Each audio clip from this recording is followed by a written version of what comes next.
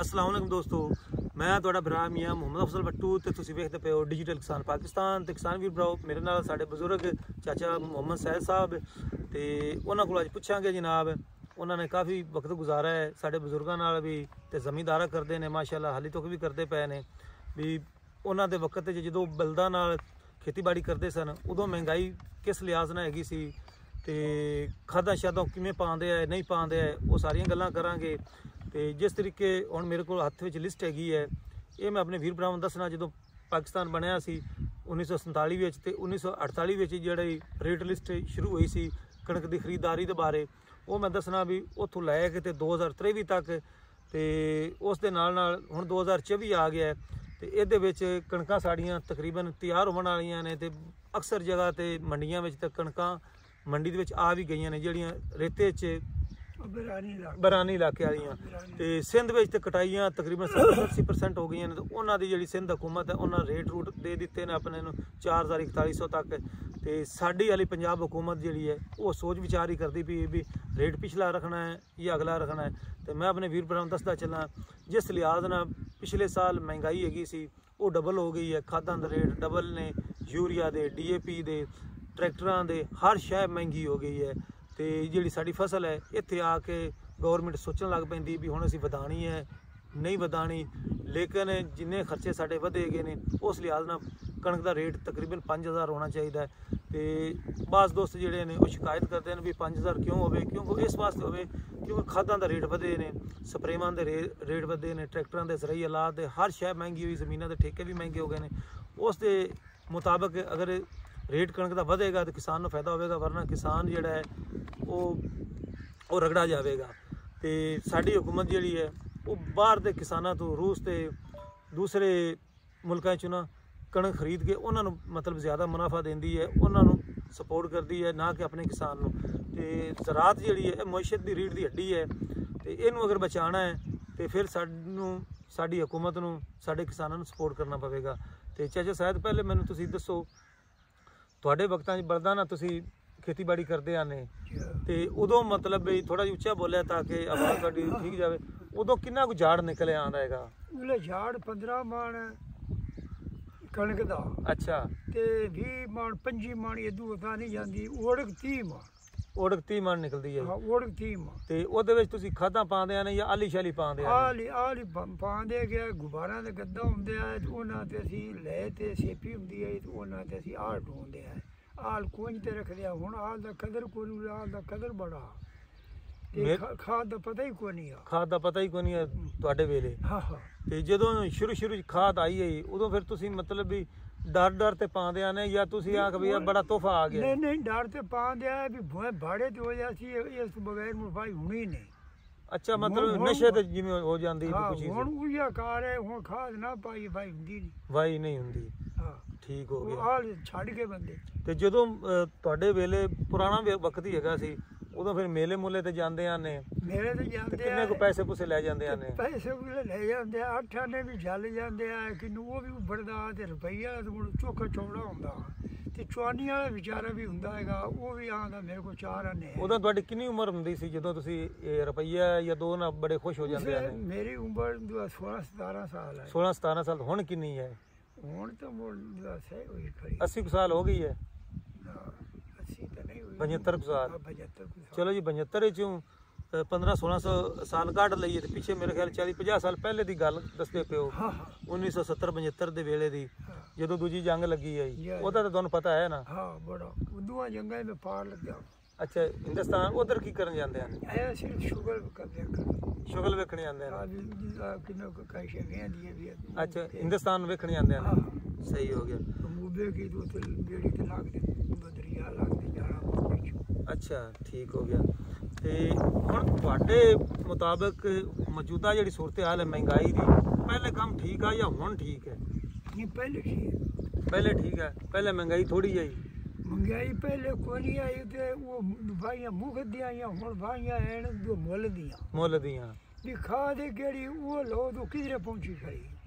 ਉਹ ਖਾਦਾਂ ਪੈਂਦੀਆਂ ਨੂੰ ਤੇ ਉਹ ਜ਼ਿਮੀਦਾਰ ਨੂੰ ਉਹਦਾ ਬਚਤ ਕਾਈ ਨਹੀਂ ਹੈਗੀ ਐਵੇਂ ਮੁੜ ਆਖਰ ਵੇ ਇੱਥੇ ਛੱਡ ਦੀ ਇੱਥੇ। ਬਚਤ ਕਾਈ ਨਹੀਂ। ਬੱਚਤ ਗਾਣੀ ਖਰਚੇ ਵੱਧ ਗਏ ਨੇ। ਆ ਖਰਚਾ ਬੜਾ ਵਧ ਗਿਆ ਬੜਾ। ਹਰ ਸ਼ੈ ਦੀ ਮਹਿੰਗਾਈ ਹੋ ਗਈ। ਉਸ ਆਜ਼ਾਦੀ ਕੰਮ ਆਜ਼ਾਦੀ ਹੈ ਸਹੀ ਹੋ ਗਿਆ। ਤੇ ਦੋਸਤੋ ਜਿਹੜੀ ਮੇਰੇ ਕੋਲ ਲਿਸਟ ਹੈਗੀ ਹੈ ਇਹਦੇ ਉੱਪਰ ਰੇਟ ਲਿਖੇ ਹੋਏ ਨੇ 1948 ਤੋਂ ਲੈ ਕੇ ਤੇ 2023 ਤੱਕ। ਤੇ ਮੈਂ ਆਪਣੇ ਵੀਰ ਭਰਾਵਾਂ ਨੂੰ ਪਹਿਲੇ ਰੇਟ ਦੱਸ ਦੇਵਾਂ ਤੇ ਫਿਰ ਆਪਾਂ ਅੱਗੇ ਗੱਲ ਕਰਨੀ ਮੌਜੂਦਾ ਜਿਹੜੀ ਸੂਰਤਹਾਲ ਪੰਜਾਬ ਹਕੂਮਤ ਦੀ ਚਲਦੀ ਪਈ ਹੈ ਤੇ 1948 ਤੋਂ ਲੈ ਕੇ ਜਨਾਬ 1954 ਤੱਕ 9.5 ਰੁਪਏ ਮਣ ਦੇ ਹੈਗੇ ਸਨ 40 ਕਿਲੋਗ੍ਰਾਮ ਦੇ। ਫਿਰ 1955 ਦੇ ਵਿੱਚ 10 ਰੁਪਏ ਹੋ ਗਏ 1 ਰੁਪਈਆ ਜਿਹੜਾ ਹੈ ਨਾ, ਉਹ ਵੱਧ ਗਿਆ, ਬਲਕਿ 8 ਨੇ ਵਧੇ 10 ਰੁਪਏ ਹੋ ਗਏ।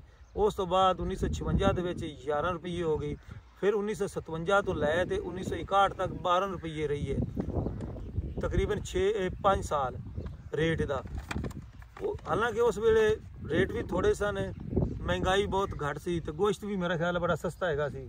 ਅੱਠ ਆਨੇ ਚਾਰ ਆਨੇ ਅੱਠ ਆਨੇ ਚਾਰ ਆਨੇ ਕਿਲੋ। ਵੱਡਾ ਗੋਸ਼ਤ। ਹਾਂ, ਵੱਡਾ। ਬਰੇਲਰ ਤਾਂ ਹੁੰਦਾ ਹੀ ਕੋਈ ਨਹੀਂ ਆ। ਨਹੀਂ ਇਹਦਾ ਨਾ ਹੀ ਕੋਈ ਨਹੀਂ। ਨਾ ਹੀ ਕੋਈ ਨਹੀਂ ਆ। ਤੇ 1962 ਦੇ ਵਿੱਚ ਤੇ 1963 ਤੇ 1964 ਤੇ 1965 ਤੇ 1966 ਤੱਕ 13.5 ਰੁਪਏ ਜਿਹੜੀ ਹੈ ਨਾ ਉਹ ਕਣਕ ਹੋ ਗਈ। ਤਕਰੀਬਨ 1.5 ਰੁਪਈਆ ਵਧੀ ਹੈਗੀ ਸੀ। ਤੇ ਅੱਗੇ ਆ ਜਾਂਦੇ ਆਪਾਂ। ਕਿਸਾਨ ਵੀਰ ਭਰਾਓ 1967 ਜੀ। 1967 ਚ ਫਿਰ 8 ਨੇ ਵਧੀ ਤੇ 14 ਰੁਪਏ ਹੋ ਗਈ ਤੇ 1968 ਤੋਂ ਲੈ ਕੇ 1971 ਤੱਕ ਜਨਾਬ ਕਣਕ ਦਾ ਰੇਟ 17 ਰੁਪਏ ਹੋ ਗਿਆ। ਮਤਲਬ ਵੀ 14 15 16 17 3 ਰੁਪਏ ਵੱਧ ਗਈ। ਤੇ 1972 ਦੇ ਵਿੱਚ 5 ਰੁਪਏ ਕਣਕ ਵਧੀ। 22 ਰੁਪਏ ਰੇਟ ਹੋ ਗਿਆ। 1973 ਦੇ ਵਿੱਚ ਫਿਰ ਕਣਕ ਵੱਧ ਤੇ 25 ਰੁਪਏ ਹੋ ਗਈ। ਫਿਰ 1974 ਦੇ ਵਿੱਚ ਕਣਕ ਨੇ ਛੱਕਾ ਇੱਕ ਤਰ੍ਹਾਂ ਮਾਰਾ ਤੇ ਕਣਕ ਹੋ ਗਈ 37 ਰੁਪਏ ਮਣ। ਮਤਲਬ ਵੀ 5 ਤੇ 7 ਜਿਨਾ 12 ਰੁਪਏ ਵੱਧ ਗਏ ਤੇ 75 1975 ਤੇ 1976 ਵਿੱਚ 37 ਰੁਪਏ ਹੀ ਰਹੀ ਹੈ। ਫਿਰ ਜਿਨਾ 1977 ਦੇ ਵਿੱਚ ਕਣਕ ਦਾ ਰੇਟ ਉਨ- 39.66 ਪੈਸੇ ਹੋ ਗਿਆ। 39 ਰੁਪਏ 66 ਪੈਸੇ। ਮਤਲਬ ਫਿਰ ਵੀ 2 ਰੁਪਏ 66 ਪੈਸੇ ਵੱਧ ਗਈ 1978 ਵਿੱਚ ਵੀ ਇਹੀ ਰੇਟ ਰਹੀ ਹੈ ਤੇ 1979 ਦੇ ਵਿੱਚ ਕਣਕ ਦਾ ਰੇਟ ਜਿਹੜਾ ਹੈ ਨਾ 48 ਰੁਪਏ 24 ਪੈਸੇ ਹੋ ਗਿਆ। ਉਸ ਤੋਂ ਬਾਅਦ 1980 ਵਿੱਚ ਕਣਕ ਫਿਰ ਥੋੜੀ ਜਿਹੀ ਵੱਧ ਗਈ ਤੇ 50 ਰੁਪਏ ਹੋ ਗਈ। 1981 82 ਦੇ ਵਿੱਚ 58 ਰੁਪਏ ਹੋ ਗਈ। 1983 ਤੇ 84 ਚ 64 ਰੁਪਏ ਰਹੀ। 1985 ਦੇ ਵਿੱਚ 70 ਰੁਪਏ ਰਹੀ। ਤੇ ਕਿਸਾਨ ਵੀਰ ਭਰਾਓ 1986 ਵਿੱਚ 80 ਰੁਪਏ 87 ਚ ਵੀ 80 ਰੁਪਏ 1988 ਚ ਫਿਰ ਕਣਕ ਦਾ ਰੇਟ ਵਧਿਆ 82 ਰੁਪਏ ਤੇ 50 ਪੈਸੇ ਹੋ ਗਈ 1999 'ਚ 85 ਰੁਪਏ ਹੋ ਗਈ 1990 ਚ 96 ਰੁਪਏ ਹੋ ਗਈ 1991 ਦੇ ਵਿੱਚ 112 1992 ਦੇ ਵਿੱਚ 124 1993 ਦੇ ਵਿੱਚ 130 ਰੁਪਏ ਮਣ ਦੇ 1994 ਦੇ ਵਿੱਚ 160 95 ਚ ਵੀ 160 1996 ਚ 173 ਰੁਪਏ 1997 ਦੇ ਵਿੱਚ 240 ਰੁਪਏ ਹੋ ਗਈ ਤੇ 1998 1999 ਚ ਵੀ 240 ਹੀ ਰਹੀ ਹੈ। ਫਿਰ 2000 ਦੇ ਵਿੱਚ ਕਣਕ ਦਾ ਰੇਟ ਹੋ ਗਿਆ ਜੀ 300 ਰੁਪਏ ਤੇ ਇਹ ਰਹੀ ਹੈ 2003 ਤੱਕ 300 ਰੁਪਏ ਦੇ ਹਿਸਾਬ ਤੇ। ਤੇ 2004 ਦੇ ਵਿੱਚ ਕਣਕ ਦਾ ਰੇਟ ਹੋ ਗਿਆ 350 ਰੁਪਏ ਤੇ ਅੱਗੇ ਆ ਜਾਂਦਾ ਜਨਾਬ 2005 ਉਦੋਂ ਇਹਦਾ ਰੇਟ ਹੋ ਗਿਆ ਕਣਕ ਦਾ 400 ਰੁਪਏ 2006 ਦੇ ਵਿੱਚ ਵੀ 415 ਰੁਪਏ ਹੋ ਗਈ। ਫਿਰ 2007 ਦੇ ਵਿੱਚ 425 ਰੁਪਏ ਹੋ ਗਈ 2008 ਦੇ ਵਿੱਚ 625 ਹੋ ਗਈ ਤੇ 2009 ਦੇ ਵਿੱਚ 950 ਦਾ ਮਾਣ ਹੋ ਗਿਆ 2010 ਵਿੱਚ 950 ਰੁਪਏ ਦੀ ਹੋ ਗਈ ਤੇ 2011 ਵਿੱਚ ਵੀ 950 ਰਹੀ ਹੈ 2012 ਚ 1050 2013 ਵਿੱਚ 1200 ਤੇ 2014 ਵਿੱਚ ਵੀ 1200 ਅੱਗੇ 2015 ਵਿੱਚ 1300 2016 ਵਿੱਚ 1300 2017 ਵਿੱਚ ਵੀ 1300 ਤੇ 2018 ਵਿੱਚ ਵੀ 1300 2019 ਵਿੱਚ ਵੀ 1300 ਤੇ 2020 ਵਿੱਚ 1400 ਹੋਈ ਫਿਰ 2021 ਚ 1800 ਹੋਈ 2022 ਚ 2200 ਦੀ ਹੋ ਗਈ ਤੇ 2023 ਵਿੱਚ 3900 ਦੀ ਹੋ ਗਈ। ਹੁਣ ਇਹਦੇ ਵਿੱਚ ਜੋ ਚੀਜ਼ਾਂ ਮੈਨੂੰ ਯਾਦ ਹੈਗੀਆਂ ਨੇ ਜਦੋਂ ਅਸਾਂ ਪਹਿਲਾ ਟਰੈਕਟਰ ਲਿਆ ਸੀ 1986 ਚ ਅੱਬਾ ਮੇਰਾ ਦੱਸਦਾ ਹੈ ਉਹ ਅਸਾਂ ਲਿਆ ਸੀ 40000 ਦਾ ਫੋਰਡ 3600 ਰੁਪਏ ਫੋਰਡ 3600 ਜਿਹੜਾ ਟਰੈਕਟਰ ਹੈਗਾ ਹੈ, 40000 ਰੁਪਏ ਦਾ। ਇਸ ਤੋਂ ਬਾਅਦ ਜੋ ਮੈਨੂੰ ਯਾਦ ਆਉਂਦਾ ਹੈ ਵੀ ਬੇਨਜ਼ੀਰ ਸਕੀਮ ਵਿੱਚ ਟਰੈਕਟਰ ਆਇਆ ਬਿਲਾਰਸ ਉਹਨਾਂ ਦਾ ਰੇਟ ਹੈਗਾ ਸੀ 1.5 ਲੱਖ ਰੁਪਈਆ ਐਵੇਂ ਜਿਹਾ ਡੇਢ 1.5 ਲੱਖ ਰੁਪਈਆ। ਤੇ ਫਿਰ ਮੈਂ ਅਸਾਂ ਇੱਕ ਟਰੈਕਟਰ ਲਿਆ ਜਨਾਬ 1999 ਦੇ ਵਿੱਚ ਰੂਸੀ ਟਰੈਕਟਰ 4 ਲੱਖ ਤੇ 30 ਹਜ਼ਾਰ ਦਾ। ਫਿਰ ਅਸੀਂ ਇੱਕ ਟਰੈਕਟਰ ਚੇਂਜ ਕੀਤਾ 2007 ਦੇ ਵਿੱਚ 5 ਲੱਖ 30 ਹਜ਼ਾਰ ਦਾ ਹੋ ਗਿਆ। ਫਿਰ 2010 12 ਦੇ ਵਿੱਚ ਟਰੈਕਟਰ ਜਿਹੜੇ ਨੇ 10 12 ਲੱਖ ਦਾ ਰੂਸੀ ਹੋ ਗਿਆ। ਫਿਰ ਜਨਾਬ 2015 ਤੱਕ ਟਰੈਕਟਰ 15 16 ਲੱਖ ਦੇ ਹੋ ਗਏ। ਹੁਣ ਟਰੈਕਟਰ ਜਿਹੜੇ ਨੇ, ਰੂਸੀ ਟਰੈਕਟਰ ਜਿਹੜਾ ਉਹ ਹੋ ਗਿਆ 66 67 ਲੱਖ ਰੁਪਏ ਦਾ। ਜਿਹੜੇ ਹੈਗੇ ਨੇ, ਮੈਸੀ 240 ਉਹ ਤਕਰੀਬਨ 21 22 ਕੁ ਲੱਖ ਦਾ ਆਂਦਾ ਪਿਆ ਜਿਹੜਾ ਹੈਗਾ ਦੂਸਰਾ 85 ਉਹ 34 ਲੱਖ 65 ਹਜ਼ਾਰ ਦਾ ਆਂਦਾ ਪਿਆ ਹੈ। ਤੇ ਉਸ ਦੇ ਨਾਲ ਨਾਲ ਜਿਹੜੀਆਂ ਖਾਦਾਂ ਦੇ ਰੇਟ ਹੈਗੇ ਨੇ, ਉਹ ਕਿਸਾਨ ਵੀਰ ਭਰਾਓ, ਉਹ ਮਹਿੰਗੀਆਂ ਹੋ ਗਈਆਂ ਨੇ ਕੰਟਰੋਲ ਰੇਟ ਤੇ ਨਹੀਂ ਹੈਗੀਆਂ। ਤੇ ਖਾਦ ਜਿਹੜੀ ਹੈ, ਉਹ ਗਵਰਨਮੈਂਟ ਦੀ ਬਜਾਏ 5000 5500 ਮਾਰਕੀਟ 'ਚ ਲੱਭਦੀ ਪਈ ਹੈ। 4800 ਵੀ ਕਿਸੇ ਜਗ੍ਹਾ ਤੇ ਲੱਭਦੀ ਪਈ ਕਿਉਂਕਿ ਹੁਣ ਕਣਕਾਂ ਦਾ ਤਕਰੀਬਨ ਇਹ ਖਾਦ ਦੀ ਜ਼ਰੂਰਤ ਖਤਮ ਹੋ ਗਈ ਹੈ ਤੇ ਜਿਹੜੀ ਇਹਨਾਂ ਖਾਦ ਵਾਫਰ ਮਿਕਦਾਰ 'ਚ ਮੌਜੂਦ ਹੈ ਲੇਕਿਨ ਕੰਟਰੋਲ ਰੇਟ ਤੇ ਫਿਰ ਵੀ ਨਹੀਂ ਮਿਲਦੀ ਪਈ ਤੇ ਹਕੂਮਤ ਨਾਕਾਮ ਹੈਗੀ ਹੈ। ਮਹਿੰਗਾਈ ਦੇ ਕਾਬੂ ਕਰਨ ਵਾਸਤੇ ਹੁਣ ਪੰਜਾਬ ਹਕੂਮਤ ਨੂੰ ਚਾਹੀਦਾ ਵੀ ਹੁਣ ਜਿਹੜਾ ਰੇਟ ਹੈ ਪਿਛਲੇ ਸਾਲ 3900 ਹੈਗਾ ਸੀ ਤੇ ਜਿਹੜੀ ਹੈਗੀ ਖਾਦ ਉਹ 2700 2800 ਰੁਪਏ ਹੈਗੀ ਸੀ।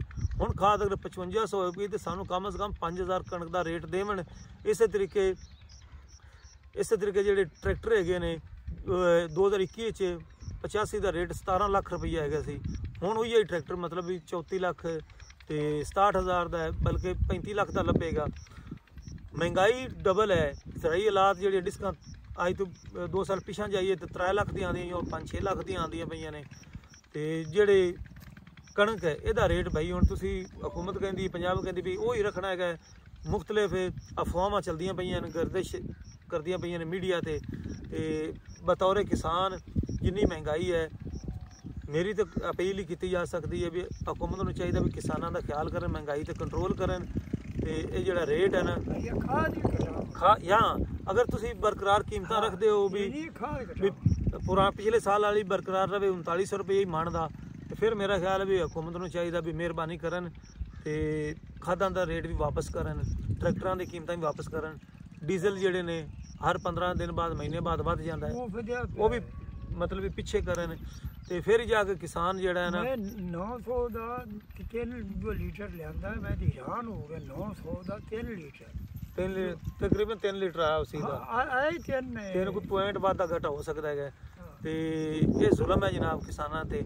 ਤੇ ਜ਼ਰਾਤ ਜਿਹੜੀ ਹੈ, ਉਹ ਮਈਸ਼ਤ ਦੀ ਰੀੜ ਦੀ ਹੱਡੀ ਹੈ ਤੇ ਮੇਰਾ ਖਿਆਲ ਹੈ ਵੀ ਅਗਰ ਇਹ ਹਿਸਾਬ ਕਿਤਾਬ ਹਕੂਮਤ ਰੱਖਿਆ ਹੈ ਤੇ ਜ਼ਮੀਂਦਾਰ ਜਿਹੜੇ ਨੇ, ਇਹਨਾਂ ਦੀ ਜਿਹੜੀ ਹੈ ਰੀੜ ਦੀ ਹੱਡੀ ਟੁੱਟ ਜਾਸੀ ਤੇ ਮਈਸ਼ਤ ਦੀ ਵੀ ਟੁੱਟੇਗੀ ਤੇ ਇਹਦਾ ਖੁਦਾ ਨਾ ਖਾਸਾ ਫਿਰ ਪਾਕਿਸਤਾਨ ਨੂੰ ਨੁਕਸਾਨ ਹੋਣਾ ਹੈ ਤੇ ਜਿੰਨੀ ਦੇਰ ਕਿਸਾਨ ਤਕੜਾ ਨਹੀਂ ਹੁੰਦਾ, ਉਨੀ ਦੇਰ ਤੁਹਾਡਾ ਮੁਲਕ ਤਕੜਾ ਨਹੀਂ ਹੁੰਦਾ। ਖਾਦ ਕਿਹੜੀ ਖਾਦ ਬਗੈਰ ਹੁਣ ਭਾਈਆਂ ਨਹੀਂ ਹੁੰਦੀਆਂ। ਹੁਣ ਇੱਕ ਇੱਕ ਭਾਵੇਂ ਮਹਿੰਗਾਈ ਕਰਨ ਬਾਅਦ ਕੁਛ ਕਰ ਲੇਗੇ ਤਾਂ ਬਾਅਦ ਜਿੰਸ ਦੀ ਵੀ ਹੋਣਾ ਕਰਨਾ ਹਰ ਸ਼ੈ ਦੀ ਲੈਵਲ ਬਣਾਵਾ। ਲੈਵਲ ਬਣਾਉਣ ਤੇ ਜੇ ਅਗਰ ਖਾਦਾਂ ਮਤਲਬ ਸਸਤੀਆਂ ਨਹੀਂ ਕਰਦੇ ਮਹਿੰਗੀਆਂ ਕਰਨ ਫਿਰ ਜਿਨਸ ਦਾ ਫਸਲ ਦਾ ਰੇਟ ਮਹਿੰਗਾ ਕਰਨ। ਹਾਂ। ਅਲਬਤ ਇਹ ਨਹੀਂ ਅਸੀਂ ਆਨੇ ਵੀ ਇੰਨੀ ਮਹਿੰਗੀ ਕਰੋ ਤੁਸੀਂ ਜਾਇਜ਼ ਅਹ ਮਤਲਬ ਕਿਸਾਨ ਨੂੰ ਜਿਹੜੇ ਤੁਸੀਂ ਪੈਸੇ ਦੂਸਰੇ ਮੁਲਕ ਦੇ ਕਿਸਾਨਾਂ ਨੂੰ ਦਿੰਦੇ ਨੇ, ਉਹ ਪੈਸੇ ਆਪਣੇ ਕਿਸਾਨ ਨੂੰ ਦਿਓ, ਤੇ ਉਹਦੇ ਵਿੱਚ ਤੁਸੀਂ ਸਬਸਿਡੀ ਦਿਓ। ਅਗਰ ਤੁਸੀਂ ਬਾਹਰ ਰੂਸ ਤੋਂ ਕਣਕ ਲੈਂਦੇ ਹੋ, ਫਿਰ ਤੁਹਾਨੂੰ ਉਹਦੇ ਤੇ ਕਰਾਪ ਪੇ ਕਰਨਾ ਪੈਂਦਾ ਹੈ। ਫਿਰ ਤੁਹਾਨੂੰ ਮੁxtਲਫ ਟੈਕਸ ਭਰਨੇ ਪੈਂਦੇ ਨੇ। ਜਦੋਂ ਤੁਸੀਂ ਆਪਣੇ ਕਿਸਾਨ ਤੋਂ, ਇਹ ਖਰੀਦਦਾਰੀ ਕਰੋਗੇ, ਨਾ ਤੁਹਾਨੂੰ ਇੰਨਾ ਜ਼ਿਆਦਾ ਕਿਰਾਇਆ ਭਰਨਾ ਪਵੇਗਾ, ਨਾ ਤੁਹਾਨੂੰ ਰਾਹਦਾਰੀਆਂ ਦੇਣੀਆਂ ਪੈਣਗੀਆਂ, ਨਾ ਤੁਹਾਨੂੰ ਮਤਲਬ ਟੈਕਸ ਪੈਣੇ ਨੇ, ਨਾ ਜਿਹੜੇ ਵਿੱਚ ਤੁਸੀਂ- ਵਿੱਚ ਕਮਿਸ਼ਨ ਏਜੰਟ ਹੁੰਦੇ ਨੇ, ਉਹਨਾਂ ਦਾ ਕਮਿਸ਼ਨ ਖਤਮ ਹੋਵੇਗਾ, ਤੇ ਉਹ ਬੋਝ ਜਿਹੜਾ ਹੈ ਨਾ ਉਹ ਹਕੂਮਤ ਤੇ ਨਹੀਂ ਪੈਣਾ, ਨਾ ਤੁਹਾਡੇ ਜਿਹੜੇ ਡਾਲਰ ਨੇ, ਜਿਹੜੇ ਤੁਹਾਡੇ ਕੋਲ ਹੈ ਨਹੀਂ ਕੋਈ ਨਹੀਂ, ਉਹ ਕੋ ਫਿਰ ਅਸੀਂ ਉਧਾਰੇ ਲੈਂਦੇ ਪਏ ਆਈਐਮਐਫ ਆਈਐਮਐਫ ਤੋਂ। ਤੇ ਉਹ ਡਾਲਰ ਤੁਸੀਂ ਉਧਰ ਉਧਾਰੇ ਲੈ ਕੇ ਰੂਸ ਦੇ ਕਿਸਾਨਾਂ ਨੂੰ ਦਿਓਗੇ, ਉਧਰ ਲਾਓਗੇ ਕਣਕ ਤੇ ਮੇਰਾ ਖਿਆਲ ਹੈ ਸਾਡੇ ਨਾਲ ਜ਼ਿਆਤੀ ਹੈ। ਮਿਹਰਬਾਨੀ ਕਰਕੇ ਆਪਣੇ ਕਿਸਾਨਾਂ ਨੂੰ ਕਣਕ ਦਾ ਰੇਟ ਦਿਓ, ਅੱਛਾ ਦਿਓ, ਤੇ ਇਹ ਫਾਈਨਲ ਫੈਸਲਾ ਕਰ ਲਓ। ਇਹ ਕਣਕ ਦਾ ਰੇਟ ਤੁਸੀਂ ਕਮ ਸੇ ਕਮ ਜਦੋਂ ਕਣਕ ਰ- ਲਗਾਣੀ ਸੀ ਨਾ, ਵਿਸ- ਕੱਤਿਆਂ ਦੇ ਵਿੱਚ, ਜਦੋਂ ਇਹਦੀ ਬਿਜਾਈ ਦਾ ਟਾਈਮ ਹੁੰਦਾ, ਉਦੋਂ ਇਹਦਾ ਤੁਹਾਨੂੰ ਪ੍ਰਾਈਸਾਂ ਇਹਦੀਆਂ ਨਾ ਕੰਟਰੋਲ ਰੇਟ ਜਾਂ ਸਪੋਰਟ ਪ੍ਰਾਈਸ ਦੇਣੀ ਹੁੰਦੀ ਹੈ ਤਾਂ ਕਿ ਕਿਸਾਨ ਜ਼ਿਆਦਾ ਤੋਂ ਜ਼ਿਆਦਾ ਕਣਕ ਵਾਲੀ ਸਾਈਡ ਤੇ ਆਉਣ ਤੇ ਤੁਹਾਡਾ ਜਿਹੜਾ ਮੁਲਕ ਹੈ ਇਹ ਖੁਦ ਕਫੀਲ ਹੋ ਜਾਵੇ ਕਣਕ ਵਿੱਚ ਤੇ ਤੁਸੀਂ ਬਾਹਰ ਮੁਲਕਾਂ ਦੇ ਵਿੱਚ ਕਣਕ ਨਾ ਲਾਓ ਤੇ ਨਾ ਤੁਹਾਡੇ ਮੁਲਕ ਦੇ ਵਿੱਚ ਲੋਕ ਲੈਣਾ 'ਚ ਕਤਾਰਾਂ 'ਚ ਖਲੋਣ ਵੀ ਆਟੇ ਦੀਆਂ ਲੈਣਾ 'ਚ ਖੜੇ ਆ ਤੇ ਆਟਾ ਅਸੀਂ ਲੈਣਾ ਹੈਗਾ। ਤੇ ਬਸ ਇਹ ਅਪੀਲ ਹੀ ਕਰਨਾ ਚਾਹ ਸ਼ਾਇਦ ਹੋਰ ਤਾਂ ਗੱਲ ਕੋਈ ਨਹੀਂ। ਤੇ ਆ ਬੈਕ ਸਾਈਡ ਤੇ ਵੇਖ ਸਕਦੇ ਹੋ ਕਣਕ ਤਕਰੀਬਨ ਜਿਹੜੀ ਹੈ ਨਾ 10-15 ਦਿਨਾਂ ਤੱਕ ਸਾਡੇ ਇਲਾਕੇ 'ਚ ਵੀ ਕਟਾਈ ਹੋ ਜਾ ਸੀ ਤੇ ਮੰਡੀ ਵਿੱਚ ਵੈਸੇ ਆ ਗਈ ਹੈ 4600 ਰੁਪਏ ਨੂੰ ਮੰਡੀ 'ਚ ਫਰੋਖਤ ਹੋਈ ਹੈ, ਜਿਹੜੀ ਬਰਾਨੀ ਹੈਗੀ ਸੀ ਬਾਰਿਸ਼ਾਂ ਤੇ ਪੱਕੀ ਹੈ ਜਾਂ ਦੂਸਰਾ ਉਹਨੂੰ ਪਾਣੀ ਤਾਂ ਲੱਗਦਾ ਹੀ ਨਹੀਂ ਹੈਗਾ। ਤੋਂ ਝਾੜ ਤਾਂ ਨਿਕਲਦਾ 15 20 ਮਾਣ 25 ਮਾਣ। ਤੇ ਕਣਕ ਹੁੰਦੀ ਵੀ ਬਰੀਕ ਹੈ। ਤੇ ਉਹ ਮੰਡੀਆਂ 'ਚ ਆ ਗਈ ਹੈ ਅਫਸੋਸ ਸਾਡੀ ਹਕੂਮਤ ਹਾਲੀ ਤੱਕ ਡਿਸਕਸ ਕਰਦੀ ਪਈ ਵੀ ਰੇਟ ਵਧਣਾ ਹੈ ਇੱਕ ਜਿਹੜੀ ਮੈਂ ਗੱਲ ਆਪਣੇ ਵੀਰ ਭਰਾਵਾਂ ਨੂੰ ਦੱਸਦਾ ਚੱਲਾਂ ਵੀ ਜਿਸ ਤਰੀਕੇ ਹੁਣ ਲੋਕ ਸੋਲਰ ਵਾਲੀ ਸਾਈਡ ਤੇ ਸ਼ਿਫਟ ਹੁੰਦੇ ਪਏ ਨੇ ਤੇ ਉਹ ਇਸ ਵਾਸਤੇ ਸ਼ਿਫਟ ਹੋ ਰਹੇ ਨੇ ਕਿ ਜਿਹੜੀ ਵਾਪਡਾ ਹੈ ਉਹ ਅਖੀਰ ਕੀਤੀ ਖੜੀ ਹੈ। ਹਾਂ। ਆਏ ਰੋਜ਼ ਟੈਕਸ ਘਰਾਂ ਦੇ ਜਿਹੜੇ ਬਿੱਲ ਨੂੰ ਉਹ ਨਹੀਂ ਭਰੇ ਜਾ ਸਕਦੇ ਪਏ, ਜਿਹੜੇ ਹੈਗੇ ਨੇ ਟਿਊਬਵੈਲ, ਉਹ ਤਾਂ ਫਿਰ ਸਮਝ ਨਹੀਂ ਆਉਂਦੀ ਵੀ ਪਿਛਲੇ ਸਾਲ ਬਿਜਲੀ ਕੋਈ ਬਾਲੀ ਗਈ ਤਾਂ ਉਹਦਾ ਬਿੱਲ ਸਾਨੂੰ ਹੁਣ ਪੇ ਕਰਨਾ ਪੈਂਦਾ ਪਿਆ। ਫਿਊਲ ਐਡਜਸਟਮੈਂਟ ਹੈ ਜੀ ਆ ਫਲਾਣੇ ਟੈਕਸ ਨੇ ਆ ਡਮਕਾਣੇ ਟੈਕਸ ਨੇ। ਤੇ ਅਗਰ ਯੂਨਿਟ ਤੁਹਾਡੇ 500 ਸੜਿਆ ਹੋਇਆ ਹੈ, ਤਾਂ 3000 ਯੂਨਿਟ ਦਾ ਜਿਹੜਾ ਨਾ, ਬਿੱਲ ਆ ਜਾਂਦਾ ਹੈ, ਤੇ ਜਦੋਂ ਫਿਰ ਉੱਥੇ ਜਾਂਦੇ ਆ ਵੀ ਆਹ ਲੱਖ ਲੱਖ ਕਿਸ ਚੀਜ਼ ਦਾ ਉਹ ਕਹਿੰਦੇ ਨੇ, ਇਹ ਹੁਣ ਜੀ ਅਗਲੇ ਸਾਲ, ਅਗਲੇ ਮਹੀਨੇ ਜਾਂ ਉਸ ਤੋਂ ਅਗਲੇ ਮਹੀਨੇ ਤੁਹਾਡਾ ਐਡਜਸਟ ਕਰ ਲਵਾਂਗੇ। ਤੇ ਮੇਰਾ ਖਿਆਲ ਹੈ ਵੀ ਐਵੇਂ ਮੁਲਕ ਤੇ ਨਹੀਂ ਚੱਲਦੇ ਹੈਗੇ। ਤੇ ਇਹ ਸਾਰਾ ਕਿਸਾਨਾਂ ਨਾਲ ਜ਼ਿਆਦਤੀ ਹੈ। ਤੇ ਘਰ ਦੇ ਜਿਹੜੇ ਬਿੱਲ ਹੈਗੇ ਨੇ, ਉਹ ਵੀ ਨਹੀਂ ਭਰੇ ਜਾਂਦੇ। ਗੈਸਾਂ ਮਹਿੰਗੀਆਂ ਹੋਈਆਂ ਜਾਂਦੀਆਂ ਨੇ। ਤੇ ਜਿੰਨੀ ਦੇਰ ਆਮ ਆਵਾਮ ਵਾਸਤੇ ਤੁਸੀਂ ਕੁਝ ਨਾ ਕਰੋਗੇ, ਬਿਜਲੀ, ਗੈਸ, ਪੈਟਰੋਲ, ਇਹ ਸਸਤੇ ਨਾ ਕਰੋਗੇ ਤੇ ਮੇਰਾ ਖਿਆਲ ਹੈ ਵੀ ਫਿਰ ਅੱਲਾ ਹੀ ਸਾਡਾ ਹਾਫਜ਼ ਹੈ। ਬਸ ਦੁਆ ਹੀ ਕਰ ਸਕਨੇ। ਹੋਰ ਤਾਂ ਕੁਝ ਨਹੀਂ ਤੁਹਾਡੇ ਤੋਂ ਉਮੀਦ ਕੀਤੀ ਜਾ ਸਕਦੀ। ਕਿਉਂਕਿ ਹੁਣ ਯਾਦ ਬੰਦੇ ਖੁਰਾਕ ਖਾਵਣਗੇ ਰੋਟੀ ਖਾਵਣਗੇ ਤੇ ਕੱਪੜੇ ਪਹਿਨਣਗੇ ਜਾਂ ਫਿਰ ਬਿਜਲੀ ਦੇ ਬਿੱਲ ਤੇ ਗੈਸ ਤੇ ਬਿੱਲ ਦੇ ਕੇ ਆਦੇ ਜਿਹੜੇ ਬੱਚੇ ਨੇ ਉਹ ਸਕੂਲਾਂ 'ਚ ਛੁਡਵਾਉਣਗੇ ਕਿਉਂਕਿ ਬੰਦਿਆਂ ਕੋਲੋਂ ਫੀਸਾਂ ਵੀ ਨਹੀਂ ਭਰੀਆਂ ਜਾ ਸਕਦੀਆਂ ਪਈਆਂ। ਤੇ ਨਾ ਇਹਨਾਂ ਪੈਟਰੋਲ ਜੋ ਕਿ ਪੈਸੇ ਨੇ ਵੀ ਬੱਚੇ ਜਾਤੇ ਸਕੂਲਾਂ 'ਚ ਪੜ ਕੇ ਸ਼ਹਿਰੋਂ ਆ ਹਰ ਜਾਣ ਸ਼ੈ ਨੂੰ ਮੰਗਿਆਈ ਹਰ ਸ਼ੈ ਦੀ ਮੰਗਿਆਈ ਬਿਜਲੀ ਦੀ ਮੰਗਿਆਈ। ਤੇ ਤੇਲ ਦੀ ਵੀ ਮੰਗਿਆਈ ਖਾਦ ਦੀ ਵੀ ਮੰਗਿਆਈ ਤੇ ਜਿਨਸ ਨੂੰ ਕੁਝ ਵੀ ਨਹੀਂ। ਜਿਨਸ ਜਦੋਂ ਸਾਡੀ ਵਾਰੀ ਕਿਸਾਨ ਦੀ ਆਂਦੀ ਹੈ ਉਹ- ਕੁਝ ਵੀ ਨਹੀਂ। ਉਦੋਂ ਕਹਿੰਦੇ ਨੇ ਬਸ ਜੀ। ਤੇ ਪਿਛਲਾ ਸਾਲ ਵਾਲਾ ਰੇਟ ਰੱਖ ਲਈਏ। ਉਹ ਐਵੇਂ ਕਮਜ਼ੋਰੀ ਹੋਈ ਜਾਂਦੀ ਹੈ। ਜਦੋਂ ਅਸੀਂ ਮਤਲਬ ਵੀ ਖਾਦ ਲਵਣ ਜਾਂਦੇ ਆ ਸ਼ਹਿਰਾਂ ਦੇ ਵਿੱਚੋਂ ਜਾਂ ਸਪਰੇਅ ਲੈਣੇ ਆ ਉਹ ਆਦੀ ਮਰਜ਼ੀ ਦਾ ਰੇਟ ਦੱਸਦੇ ਨੇ। ਤੇ ਸਾਨੂੰ ਮਜਬੂਰਨ ਉਹ ਚੀਜ਼ਾਂ ਖਰੀਦਣੀਆਂ ਪੈਂਦੀਆਂ ਨੇ। ਤੇ ਜਦੋਂ ਸਾਡੀਆਂ ਫਸਲਾਂ ਪੱਕ ਕੇ ਤਿਆਰ ਹੁੰਦੀਆਂ ਨੇ ਸਾਨੂੰ ਮਤਲਬ ਅਸੀਂ ਆ ਕੇ ਵੀ ਅਸੀਂ ਹੁਣ ਆਹ ਰੇਟ ਲੈਣਾ ਹੈ।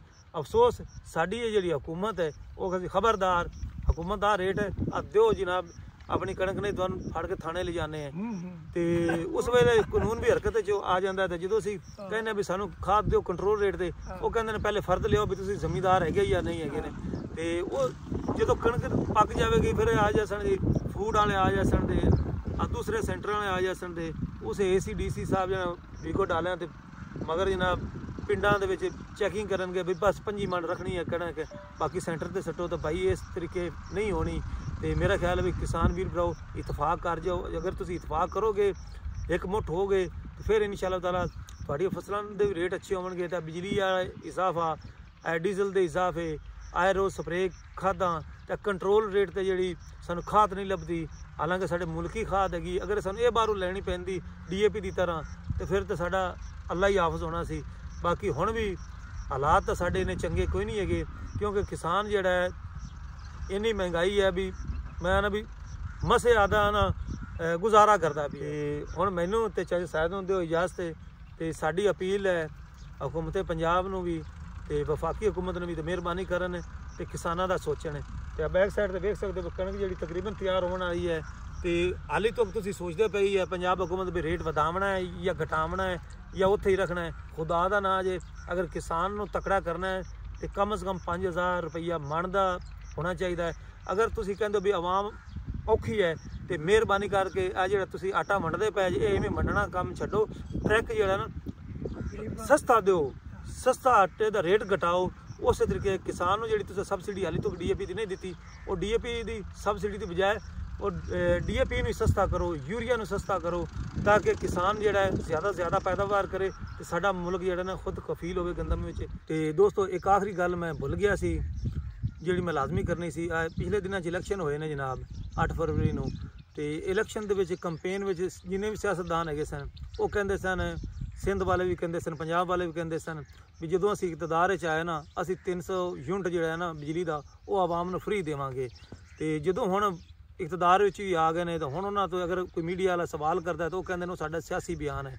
ਤੇ ਮੇਰਾ ਖਿਆਲ ਹੈ ਵੀ ਇਹ ਸਿਆਸੀ ਬਿਆਨ ਜਿਹੜੇ ਨਾ ਆਵਾਮ ਨੂੰ ਕਾਫੀ ਤਕਲੀਫ ਦਿੰਦੇ ਹੈਗੇ ਨੇ ਤੇ ਬਿਹਤਰ ਹੈ ਮਿਹਰਬਾਨੀ ਕਰੋ ਤੇ ਜਿਸ ਤਰੀਕੇ ਭਾਰਤ ਨੇ ਡੈਮ ਬਣਾਏ ਹੈਗੇ ਨੇ, ਤੁਸੀਂ ਵੀ ਕਮ ਸੇ ਕਮ ਕੁਝ ਡੈਮ ਬਣਾਓ ਤੇ ਬਿਜਲੀ ਨੂੰ ਪਾਣੀ ਤੇ ਪੈਦਾ ਕਰੋ ਤਾਂ ਕਿ ਸਾਡੇ ਤੱਕ ਸਸਤੀ ਆਪਣੇ, ਇਹ ਨਵੇਂ ਵੀ 100 100 ਰੁਪਏ ਦਾ ਯੂਨਿਟ ਹੋ ਗਿਆ ਤਾਂ ਫਿਰ ਸਾਡੇ ਕੋਲ ਇਹ ਨਹੀਂ ਬਾਲੀ ਜਾਣੀ। ਤੇ ਮੇਰਾ ਖਿਆਲ ਹੈ ਵੀ ਕੁਝ ਗੁਆਢੀ ਮੁਲਕਾਂ ਤੋਂ ਵੀ ਸਿੱਖ ਲਓ, ਜਿਨ੍ਹਾਂ ਨੇ ਡੈਮ ਬਣਾਏ ਹੈਗੇ ਨੇ। ਤੇ ਕਿਤਾਬਾਂ 'ਚ ਤਾਂ ਅਸੀਂ ਇਹ ਪੜ੍ਹਿਆ ਸੀ ਵੀ ਬਿਜਲੀ ਮੁਫਤੀ ਬਣਦੀ ਹੈ ਪਾਣੀ ਤੋਂ ਬਣਦੀ ਤੇ ਥੋੜਾ ਜਿਹਾ ਖਰਚਾ ਆਉਂਦਾ ਹੈ। ਤੇ ਤੁਸੀਂ ਹੁਣ ਬਿਜਲੀ ਜਿਹੜੀ ਉਹ ਬਣਾਉਂਦੇ ਪੈ ਜੇ ਡੀਜ਼ਲ ਤੋਂ ਡੀਜ਼ਲ ਤੋਂ ਜਾਂ ਫਰਨਸ ਆਇਲ ਤੋਂ, ਤੇ ਉਹ ਬਈ ਪੂਰੀ ਨਹੀਂ ਪੈਂਦੀ ਪਈ। ਆਏ ਰੋਜ਼ ਜਿਹੜਾ ਹੈ, ਉਹ ਵੱਧ ਜਾਂਦੀ ਹੈ। ਤੇ ਪਤਾ ਚੱਲਦਾ ਜਨਾਬ ਵੀ ਆ ਬਿੱਲ ਆ ਇਹ ਫਲਾਣਾ ਕਿਹੜੇ ਜੀ ਐਡਜਸਟਮੈਂਟ ਆ ਗਈ ਹੈ। ਮਤਲਬ ਵੀ ਤੁਸੀਂ ਪਿਛਲੇ ਮਹੀਨੇ ਸ਼ਹਿਰ 'ਚ ਗਏ ਹੋ, ਤਾਂ ਉੱਥੋਂ ਤੁਸੀਂ ਸਮੋਸੇ ਖਾਦੇ ਹੋਵਣ। ਤੇ ਉਸ ਵੇਲੇ ਤੁਸੀਂ ਬਿੱਲ ਪੇ ਕਰ ਰਹੇ ਹੋ ਤੇ ਜਦੋਂ ਤੁਸੀਂ ਘਰ ਆ ਜਾਓ ਤਾਂ ਮਹੀਨੇ ਬਾਅਦ ਫਿਰ ਮਗਰ ਆ ਜਾਵੇ ਜਿਨਾ ਹੋਟਲ ਵਾਲਾ, ਉਹ ਆ ਕੇ ਭਈਆ ਜਿਹੜੇ ਸਮੋਸੇ ਖਾਦੇ ਨੇ, ਉਹਦਾ ਫਲਾਣਾ ਬਿੱਲ ਜਿਹੜਾ ਉਹ ਗੈਸ ਦਾ ਆ ਗਿਆ ਜਾਂ ਦੂਸਰਾ ਉੱਥੇ ਉਸਦੀ ਸਫ਼ਾਈ ਦਾ ਆ ਗਿਆ, ਉਹ ਹੀ ਤੁਸੀਂ ਭਰੋ। ਉਹ ਸਾਡੇ ਨਾਲ ਦਾ ਹਾਲ ਉਹ ਹੋਇਆ ਖੜਾ ਹੈ ਐਡਜਸਟਮੈਂਟ ਵਾਲਾ ਫਿਊਲ ਐਡਜਸਟਮੈਂਟ ਵਾਲਾ। ਤੇ ਮਿਹਰਬਾਨੀ ਕਰੋ ਡੈਮ ਬਣਾਓ ਤੇ ਜਿਹੜੇ ਨਾਰੇ ਲਾਇਆ ਨੇ ਨਾ, ਉਸ ਤੇ ਪੂਰੇ ਉਤਰੋ ਤੇ ਆਵਾਮ ਨੂੰ ਕਹਿਣਾ ਵੀ ਇਹ ਸਿਆਸੀ ਬਿਆਨ ਹੈ। ਇਸ ਤਰੀਕੇ ਜ਼ਿਆਦਤੀ ਸਾਡੇ ਨਾਲ ਨਾ ਕਰੋ। ਵੀ ਠੱਗੀ ਮਾਰਦੇ ਪਏ ਆ ਠੱਗੀ ਮਾਰਦੇ ਪਏ ਨੇ। ਠੱਗੀ ਮਾਰਦੇ ਪਏ ਇਹਨਾਂ ਦੀ ਪਹਿਲੇ ਹੋਰ ਵਿਖਾਵਣੀ ਗੱਲ ਪਿੱਛੇ ਹੋਰ ਕਰਨੀ। ਪਿੱਛੇ ਹੋਰ ਕਰਨੀ। ਹਿੰਦੂਆਂ ਦੇ ਭੇੜੇ ਹੋ ਗਏ ਉਹਨਾਂ ਦੇ ਬਿਜਲੀਆਂ ਦੀਆਂ ਰਾਹ ਚਲੀਆਂ ਖਾਈਆਂ ਨਹੀਂ ਜੀ ਹਿੰਦੁਸਤਾਨ ਵਾਲੇ ਤੇ ਕਮਾਲ ਕੀਤੀ ਖੜੇ ਨੇ। ਨਹੀਂ ਉਹਨਾਂ ਦੇ ਭੇੜੇ ਆ ਨਾ ਮੁੜ ਆਪਾਂ ਤਾਂ ਦੋ- ਨੰਬਰੀ ਦੋ ਚੱਲੇ ਮੁੜ ਉਹਨਾਂ ਹਿੰਦੁਸਤਾਨ ਵਾਲਿਆਂ ਨੇ ਤੇ ਪਾਣੀ ਦੇ ਥੱਲੇ ਚੱਲਣ ਵਾਲੀ ਟ੍ਰੇਨ ਬਣਾ ਲਈ ਹੈ ਹਾਂ। ਜਿਹੜੀ ਪਾਣੀ ਦੇ ਥੱਲੇ ਚੱਲੇਗੀ ਉਹਨਾਂ 20 30 ਫੁੱਟ ਥੱਲੇ ਚੱਲਦੀ ਬਿਜਲੀ। ਕਮਾਲ ਜੀ ਤੇ ਦਿਨ 12 ਰਾਤ ਕਿੱਲਿਆਂ ਵਿੱਚ ਉਹਨਾਂ ਦੀ ਬਿਜਲੀ ਹੈ 12 ਕਿੱਲਿਆਂ ਵਿੱਚ ਮੈਂ ਆ ਵੇਖੀ। ਅੱਛਾ। ਹਾਂ। ਤੇ ਮਤਲਬ ਵੀ ਉਹਨਾਂ ਦੇ ਜਿਹੜੇ ਹੈਗੇ ਨੇ ਘਰਾਂ ਵਿੱਚ ਵੀ ਉਹਨਾਂ ਦੇ 200 300 ਯੂਨਿਟ ਉਹਨਾਂ ਫ੍ਰੀ ਦਿੱਤੇ ਹੋਏ ਨੇ। ਨਾਲ ਦੂਸਰਾ ਜਿਹੜੇ ਅਹ ਜ਼ਮੀਂਦਾਰ ਉਹਨਾਂ ਨੂੰ ਕਿਸਾਨਾਂ ਨੂੰ ਬਿਜਲੀ ਫ੍ਰੀ ਦਿੱਤੀ ਹੋਈ ਹੈ। ਫਰੀ ਦਿੱਤੀ ਵੀ ਨਾਲ 12 ਕਿੱਲੇ ਭੂਏ ਹਰ ਇੱਕ ਦੀ ਹੈ ਗਰੀਬ ਹੈ ਜਾਂ ਤੁੰਗਰ ਹੈ। ਇਹਨਾਂ ਦੀਆਂ ਦੁਬਰਾਨੀ ਕਿੰਨੀਆਂ ਪਈਆਂ ਨੂੰ? ਗਵਰਨਮੈਂਟ ਦੀਆਂ। ਬੜੀਆਂ ਐਵੇਂ ਪਈਆਂ ਨੂੰ। ਮਤਲਬ ਕਿਸਾਨਾਂ ਨੂੰ ਦੇਣੀਆਂ ਚਾਹੀਦੀਆਂ ਨੇ ਉਹ। ਦੇ ਨਹੀਂ ਸਕਦੇ ਵੀ ਅਸੀਂ ਆ ਵਰਤਾਂ ਦੇ ਪਏ ਤੇ ਇਹ ਖੁਸ਼ਹਾਲ ਹੋ ਸੜੀਏ ਵੀ ਤੇ ਸਾਨੂੰ ਹੀ ਫਾਇਦਾ ਹੋ ਸੀ। ਉਹ। ਵੇਰੀਆਂ ਪਈਆਂ ਨੂੰ ਕੋਈ ਹਾਸਲ ਹੈ। ਬਹਰਹਾਲ ਆਪਾਂ ਰਿਕੁਐਸਟ ਹੀ ਕਰ ਸਕਦੇ ਆ ਵੇਰੀਆਂ ਪਈਆਂ ਦਾ ਹਾਸਲ ਤਾਂ ਕੋਈ ਨਹੀਂ ਇੱਥੇ ਤਾਂ ਹੈ ਨਹੀਂ ਕੋਈ ਨਹੀਂ। ਹਾਂ ਹੈ ਨਹੀਂ। ਕੋਈ ਮਹਿੰਦੀਆਂ ਨਹੀਂ ਪਈਆਂ ਜੇ ਅਗਰ ਹੈਗੀਆਂ ਵੀ ਤਾਂ ਫਿਰ ਉਹ ਵਡੇਰਿਆਂ ਦੇ ਕਬਜ਼ਿਆਂ 'ਚ ਹੈਗੀਆਂ ਨੇ। ਹਾਂ। ਆਮ ਜਿਹੜੇ ਨੇ ਜ਼ਮੀਂਦਾਰਾਂ ਕੋਲ ਨਹੀਂ ਹੈਗੀਆਂ। ਅਤੇ ਸਾਡੇ ਆਪਣੇ ਵੀ ਇਲਾਕੇ 'ਚ ਕੁਝ ਅਜਿਹੇ ਇਲਾਕੇ ਹੈਗੇ ਨੇ ਜਿੱਥੇ 4-4 ਹਜ਼ਾਰ ਕਿੱਲਾ ਹੈਗਾ ਹੈ। ਉਹ ਜ਼ਮੀਂਦਾਰਾਂ ਹੀ ਕਬਜ਼ਾ ਕੀਤਾ ਹੋਇਆ ਤੇ ਹਾਂ। ਜ਼ਮੀਂਦਾਰਾਂ ਨੇ ਅੱਗੇ ਫਿਰ ਆਮ ਕਿਸਾਨਾਂ ਨੂੰ ਠੇਕੇ ਤੇ ਦਿੱਤੀਆਂ ਹੋਈਆਂ ਨੇ। ਮਤਲਬ ਵੀ ਗਵਰਨਮੈਂਟ ਨੂੰ ਦੇਣਾ 5000 ਜਾਂ 10000 ਸਾਲ ਦਾ ਤੇ ਅੱਗੂ 3 ਲੱਖ 2.5 ਲੱਖ ਲੈਣਾ ਹੈ। ਤੇ ਇਹ ਜਿੰਨੀ ਦੇਰ ਇਹ ਹਾਲਾਤ ਠੀਕ ਨਹੀਂ ਹੁੰਦੇ ਉਨੀ ਦੇਰ ਮੁਲਕ ਤਰੱਕੀ ਨਹੀਂ ਕਰ ਸਕਦਾ। ਪਾਵਰ ਵਾਲੇ ਨੂੰ ਜੁਰਤ ਨਾਲ ਬੋਏ ਨੂੰ ਆਦਾ ਕਰਦੇ ਪਏ ਨੂੰ ਤੇ ਉਹਨਾਂ ਤੇ ਬੰਦਾ ਦੋ ਕਬਰ ਕੋਈ ਕਰ ਕਵਰ ਨਹੀਂ ਕਰ ਸਕਦਾ। ਕਰ ਸਕਦਾ ਨਹੀਂ ਜਿੰਨਾ ਕਰਨਾ ਉਹੀ ਉਹਦੀ ਮਤਲਬ ਕਰਨਾ ਜਿੰਨਾ ਹੁਣ। ਜੋ ਵੋਟ ਲਏ ਨੇ ਤੇ ਹੁਣ ਇਹ ਤੂੰ ਇਹ ਖਾਣ ਵੀ ਅਸੀਂ ਤਾਂ ਐਵੇਂ ਸਿਆਸੀ ਬਿਆਨ ਹੈਗਾ ਸੀ। ਸਿਆਸੀ ਤੇ ਬਿਆਨ ਚਲੋ ਜੀ ਮਿਹਰਬਾਨੀ ਚਾਹ ਸਾਹਿਬ ਗਰੀਬਾਂ ਨਾਲ ਹੀ ਹੈ ਨਾ। ਹਾਂਜੀ। ਜ਼ਿਮੀਦਾਰ ਤੁਸੀਂ ਛੋਟੇ ਜ਼ਿਮੀਦਾਰ ਨੇ। ਜੀ ਆਪਾਂ ਤਾਂ ਆਮ ਆਮ ਤਬਕੇ ਚ ਆ ਜਾਣੇ ਆ ਨਾ। ਸਫੇਦ ਪੋਸ਼ੇ ਚ। ਹੁਣ ਤਾਂ ਸਫੇਦ ਪੋਸ਼ੀ ਵੀ ਖਤਮ ਹੋਈ ਜਾਂਦੀ ਹੈ। ਪੰਜ ਕਿੱਲੇ ਦਾ ਦਾ ਕਿੱਲੇ ਤੋਂ ਹਾਂਜੀ, ਹਾਂਜੀ। ਕੋਈ ਨਹੀਂ ਵੱਡੀ ਗੱਲ। ਤੇ ਚਾਹ ਸਾਹਿਬ ਬਹੁਤ ਮਿਹਰਬਾਨੀ ਜੀ। ਤੇ ਵੇਖਣ ਵਾਲਿਆਂ ਦੀ ਮਿਹਰਬਾਨੀ। ਤੇ ਖੁਦਾ ਦਾ ਨਾਮ ਜੇ ਇਤਫਾਕ ਕਰ ਜਾਓ ਜੇ ਕਿਸਾਨ ਇਤਫਾਕ ਕਰਨਗੇ ਤੇ ਫਿਰ ਕੋਈ ਹੱਲ ਹੋਵੇਗਾ। ਜੇ ਅਗਰ ਕਿਸਾਨ ਇਤਫਾਕ ਨਹੀਂ ਕਰਨਗੇ ਤੇ ਫਿਰ ਆਪਣਾ ਅੱਲਾ ਹੀ ਆਵਾਜ਼ ਜੇ। ਤੇ ਹੁਣ ਮੈਨੂੰ ਤੇ ਚਾਚਾ ਸਾਹਿਬ ਦਿਓ ਇਜਾਜ਼ਤ ਤੁਹਾਡਾ ਭਰਾ ਮੀਆਂ ਮੁਹੰਮਦ ਅਫਜ਼ਲ ਬੱਟੂ ਅੱਲਾ ਹਾਫਿਜ਼ ਪਾਕਿਸਤਾਨ ਜ਼ਿੰਦਾਬਾਦ।